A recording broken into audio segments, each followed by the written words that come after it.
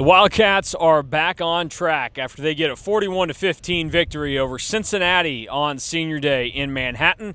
K State started the game off cutting it loose with Avery Johnson's legs. First play of the game was a big run. The Wildcats scored on their first possession of the game and never really looked back after that. K State was already up 20 by the time Cincinnati scored for the first time. The game never felt close, and the Wildcats in the third quarter we're really just playing to salt things away. Very similar to how Arizona State played K State to start the second half last week. I'm Mason Voth. That's Drew Galloway. K State back in the win column. Avery Johnson said after the game, yeah, it was big to get the win. I mean, it feels like we haven't done it in a month, and that's close to true. I mean, it was, what, October 29th? When they played 26th. October 26th when they played Kansas and got a win. Because then the next week, a road loss at Houston, the bye week, and then last week, the disappointing loss at home to Arizona State. But now the Cats are back on track and they have a slim chance of playing for a Big 12 title still available to them. And there's a good chance that by the time the game kicks off next week, because it will be a night kick in Ames, Iowa for K State and Iowa State, that K State will know okay, we win, we're in. If not, doesn't matter, and maybe a win doesn't even matter for those two teams next week, depending on what happens elsewhere throughout the league. But nonetheless, should be fascinating. Now K State can feel like they have momentum. And the place we have to start tonight is the offense. It was the biggest thing that's been talked about the last two weeks, and really going back a little bit before that because they struggled to run the ball against KU outside of a couple chunk plays. They didn't run the ball well against West Virginia. It really hasn't felt like this offense has been firing at 100% since the game in Boulder. And K State tonight came out different strategy. Conor Riley was on the sidelines tonight instead of up in the booth. So instead, Brian LePack and Clint Brown were up in the booth, kind of feeding it down the field. So both Riley and Wells on the field for K State and the offensive coaching staff. Do you think the changes had that big of an impact, or was this a matter of playing just a bad football team in Cincinnati? Uh, I think that it, it can be both because I, I think that there was a, a chance that this game could have gone not the other way and like Cincinnati blows K State out, but kind of the the give a damn factor, and that was one of the biggest factors coming in. I think was going to be how hard was K State going to play, and, and, they answered the bell right away. And, and part of that was with how K State's offense played, and specifically the offensive line. And, and K State's offensive line has been challenged the last few weeks. Now that Conor Riley's on the field, and, and, probably has more of a feel of like what's going on with the offensive line down there. So I, I think that it, it helps it, it also helps that there was a couple portions of the game where it looked like Cincinnati looked like they wanted to be anywhere else but on, on a football field. But I, I think that you saw K State really get into a rhythm, and, and we've talked really since the KU game. When you can run the ball, football is a pretty easy game because there's so much that you can do off of play action and the RPO game and so much creativity that, you can have in the run game. And we saw the creativity come back in the K State run game tonight. And, when they were able to run for seven yards a carry, it, it looks like everything is better and, and looks just a lot more crisp. And even like looking ahead to next week, Iowa State's rush defense hasn't been great in the last handful of games either. Yeah. No, that's that's for sure. And they made a lot of mistakes tonight in their win against Utah that very easily could have led to them losing a game like K State did to Houston. And it wasn't pouring rain in Salt Lake City tonight. It was clear skies and everything. So that will be something to monitor moving forward with K State, Iowa State next week. But it did feel like the offense was in a better spot. Avery Johnson kind of alluded to after the game. Felt like this is the healthiest he's been since going into the Colorado game. So maybe that contributed to some of it. He hits double digit carries tonight. So his presence in the run game no doubt helped. But it's clear to see that the offensive line, for some reason, was better tonight. DJ Giddens, that was a normal DJ Giddens game prior to what really happened against Houston. The yardage was there, went for a big night on just 15 carries. Joe Jackson was good when he got a chance to run the football as well. So it felt like this was the K State we saw for most of the season because the defense also deserves credit where they weren't perfect tonight and Cincinnati gave them some breaks, but also this was more of the hey, we're going to bend a decent amount at times, but we're never going to break. And the defense was able to do that tonight. And a lot of that should probably be credited back to the offense for not giving them a ton of short fields like we'd seen in recent weeks. Yeah, this was the first time that K State has won a field position game in a long time. And it's something that hasn't really been harped on a ton all season, but K State is one of the worst teams in terms of starting field position for their offense and for their defense. So being able to really swing that in K State's favor tonight also helps a lot. It, also can be a little bit lucky in terms of starting field position because, you know, Brendan Mott getting tackled at the six yard line instead of running it in also kind of really overinflates how drastic the starting field position was. But K State really dominated in that area. And, and, the offense was clicking. The defense was able to get off the field. I think Cincinnati turned it over on downs four times in the game uh, and, and, three times the first 34 minutes. Yeah, I was going to say, you know, if, if, Scott Satterfield had some players that seemed like maybe they didn't want to be here and that they had quit, Scott Satterfield sure had not quit on this game. He was calling timeouts, he was going for it nonstop. Uh, he was trying to make it happen, and it really just led to continuously giving K State the ball in really nice situations. One thing that gave K State the ball in a really nice situation was before the end of the first half. Cincinnati picks up what would be the first down, but you knew it was coming back because of a holding penalty. So it's third and 18. There's, uh, what, less than 30 seconds left maybe in the half. And Brendan Sorsby steps back. Brendan Mott is coming off of the left side and disengages a little bit as – Sorsby's trying to dump off a screen pass, and Brendan Mott comes away with the first interception of his career. Almost took it back, but Sorsby caught him. And a couple plays later, Avery Johnson found Trey Spivey.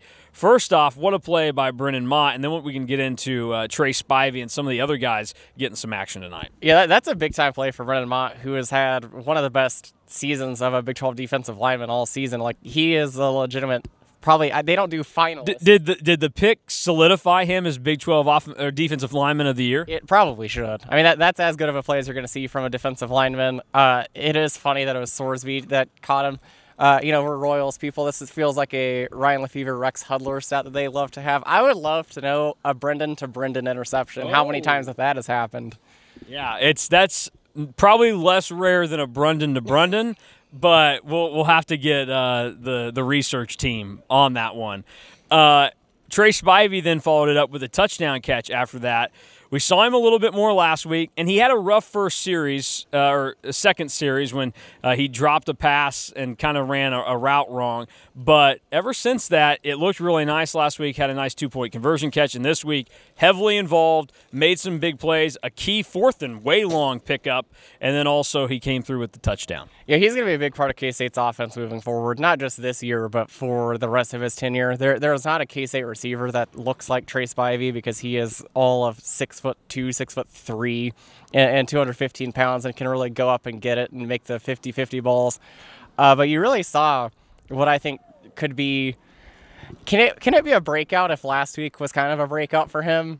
I think it, last week might have been kind of it's like you start to see the cracks in the egg and you're like oh the chicks are hatching this was the full blown okay the egg the top of the egg has been popped off and trey spivey's here now yeah because it's back-to-back games where he has been probably k-state's best receiver and, and i think that that is not insignificant and, and again just kind of goes to show and, and, we talked about this a little bit in the post game uh, while we were waiting for players to cycle in you really look tonight and the 2023 K-State recruiting class just kept making plays all over the field. Avery, Trey Spivey, Austin Romaine, Joe Jackson, and that that's just Ryan Davis. Yeah, and Ryan Davis was Ryan Davis was a monster in garbage time. Like uh, whoever was blocking him for Cincinnati was just letting him go, which was pretty fun to watch. So you really see all those young players, and you're like, okay, this is a good player, not just for these next however many games because we still don't know what is going to go on next week because chaos ensued in the Big 12 this week, and K State still has a shot to make it to Arlington and now went from 8% to start the day to up to 15% now. Uh, but for however many of these games that are left, you it's fun to see these redshirt freshmen and true sophomores really start to take a step. Yeah, no doubt about it. All right, we'll take a break, and when we come back, we'll look ahead to next week's matchup with the Cyclones. Reminder give the gift of Ireland this holiday season. Secure your tickets now through travel and hospitality packages as the Wildcats kick off the 2025 season in the Aer Lingus College Football Classic in Dublin, Ireland. Visit cats2ireland.com for more information. That's cats, the number two, Ireland.com. Fitting to talk about Iowa State because that's where K State heads next. They will go to Ames to close out the regular season. It seems like there's been a lot of these games against Iowa State at the end of the season under Chris Klieman. Year one, they beat Iowa State in 2019 here in Manhattan. Last year, obviously, everybody remembers the finale. 2018, Bill Snyder's last game was in Ames. Uh, to close out the regular season. So there's been a lot of late in the year games between these two teams. Both teams next week mathematically still alive for the Big 12 championship game.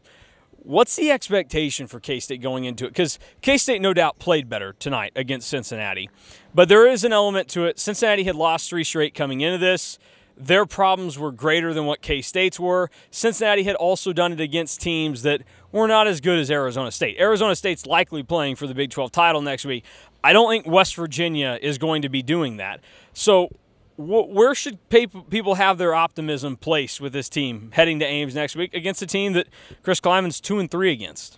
Yeah, I hope that I think that the expectation is probably that you would hope that this is something that they can build on the rest of the way. I know that there's a scenario out there where K State knows their fate on if they can go to Arlington or not. And that's kind of similar to how last year's game against Iowa State went, to, to be honest with you. And we, we kind of saw how that went uh, but the, the hope is that you can build off of this performance tonight and you kind of just go forward with it. Because there, there was a lot of positives tonight. And obviously, like, number one starts on the scoreboard. But you also saw the flashes from Trey Spivey. You saw Avery Johnson looking more healthy, and then you saw him running more. You saw DJ Giddens looking as healthy as he has been really in a, in a really long time. Uh, and that's something that we didn't really talk about uh, during uh, the Cincinnati breakdown. But you would hope that it's something that they can really build on and it's something like tangible that can go forward for this game coming up against Iowa State. Yeah, it's going to be interesting to see how it plays out. Now, we're recording this at night. The Big 12 said that they will release their full final week scenarios uh, on Sunday morning or sometime Sunday. So be on the lookout for that. And if you're trying b-ball not nothing, my head already hurts. Yeah, if you're trying b-ball not nothing.net, uh, it's crashed tonight. So that tells you where the mindset of Big 12 fans is going into this thing. I think there's just going to be a couple of key things for K State. Number one, it's going to be really, really, really cold next week in Ames. 21 degrees is the expected high. It's going to be a night kick. I think what you said, it's supposed to feel like 11 degrees next week. A chance of snow. Beautiful. Uh, great. Because we know that this K State team has handled extreme elements just fantastically over the last couple of seasons. Um, so that's a little concerning for them. And Iowa State on the road, that's just they have their flaws. They can go through their dry spells on both offense and defense where you go, man, this team doesn't really have a ton going for them, but they're solid and they're sound in a lot of good areas. And as much as we like to pile on Matt Campbell for kind of being a psycho, he's very clearly good at what he does. So this is not like going on the road to face West Virginia and being like, well, you know, if you a couple things go here or there. Iowa State is a team that can straight up beat K State. This is not just a game next week where if K State doesn't beat themselves. So K State has to go out and actually win the game next week, and that's something that they really haven't had to do since they had to make it happen against KU. But again, you think about it, KU they got them to gift a lot of opportunities there. So uh, it's it's a skill that K State has to prove that they still have, and I'll be interested to see how they come out. That's going to be a wild environment night games, Iowa State, they, those people eat it up. So Avery Johnson has to be ready. How much of the quarterback run game is going to stay in there? And probably the biggest thing to watch going into next week, it was no doubt an improvement having Conor Riley on the field tonight for K State football. But is it really that big of an improvement, or was it just the right scenario where Cincinnati's not a great team? You needed to play better, you were due to play better and now next week will be the real test of how this plays out. So, what are your expectations for mainly the K State offense? Because I think the K State defense, you look at it, I don't think Will Lee is going to be shoving guys for 40 yards in the end zone uh, next week. I think this defense will be a little bit better, although they got a couple receivers that can be scary uh, with this K State secondary. But the run game, Iowa State struggled with it throughout the year. K State's been great at stopping it. They were great tonight. Corey Kiner just never even had a chance to do much. Um, but the offense is the number one focus. Yeah, I'd say that my expectation would be that you would hope that this has been like K State finding their groove back, especially running the football because they they ran the ball extremely well tonight and hadn't in the past few games, and that they can really take advantage of the quick game and the passing game because that was another thing that was kind of a wrinkle in how K State attacked through the air was that it seemed like they were getting the ball out of Avery Johnson's hands in a hurry and had him go on what I had saw what I kind of tongue in cheek said was the, the best trick play K it had had uh, in our lifetime. Uh, they also saw a delayed rollout where it, it was a design delayed rollout. He just took a little bit to go out and then throw it. Uh, but I, I, think that you would want to see more improvement and kind of seeing where how this game can really impact the rest of the way. Uh, I'll give one key for next Saturday before before we head out of here. Uh, special teams. Whoever wins special teams probably wins the game. K State special teams has not been great or even really good most of the season. Uh, Iowa State though tonight had a blocked punt go for a touchdown for Utah and missed a field goal, and that and they also missed a field goal early in the game uh, that actually did not count because of a penalty on Utah. So if you can win special teams, you're probably going to win the game because the, the, teams are extremely even. Yeah, that's a great point, and it's something to keep in mind for everybody moving forward. So we'll have plenty of Iowa State lead up this coming week on KSO. Also, a lot of post game here in reaction to K State's win over Cincinnati to close out the home schedule. You also may or may not see us uh, playing football on the field after the game here. Yep, uh, we did indeed get the the long snapping and holding in. Uh, we got they we got him down. I don't know. It's you know it's it's a tough job, um, but we're not paid to do it. But we did it and it took us a couple tries. Certainly, the holds are not good; those would get us blasted by I mean, uh, Sean Snyder might shoot us for how those looked, but uh, we'll we'll have those up at some point too, and then everything else that goes with it. Plus, K State basketball back in action uh, on Sunday, seven o'clock as they play in the semifinals of the Paradise Jam against, uh, you know, a pretty good and interesting Liberty team that they're going to see. So, a lot to go this week as uh, Thanksgiving week commences, and it will all end with a very cold and dicey game for the Cats on the road in Ames taking on Iowa State. But that will do it for us tonight. For Drew Galloway, I'm Mason Voth. Thank you for watching and listening to K State Online. We will talk to you again probably tomorrow. Uh, I'm sure we'll have some basketball thoughts. Uh, no full Sunday show. Jimmy, you guys know him as KSU underscore fan. He's on the road to Colorado. He left with like, I don't know, 12 minutes left in the game. I came up now, I should say, I obviously felt that it was garbage time because I came up from the field and I saw him with his backpack walking towards me. I was like, oh, garbage time. That man's out of here. So he knows how to beat the traffic, uh, and he is beating it all the way out the. Uh, he's just going to not go through Junction City. He's going to fly past it on I-79, keep going towards Colorado. So uh, we'll get his thoughts at some point leading up to the Iowa State game, and uh, plenty of other stuff going on at KSO right now as well. So we're out of here. We've rambled, and I don't know. Well, we'll just we'll probably not better. We'll probably not be on the field next week doing this uh, in Ames. I would guarantee you that.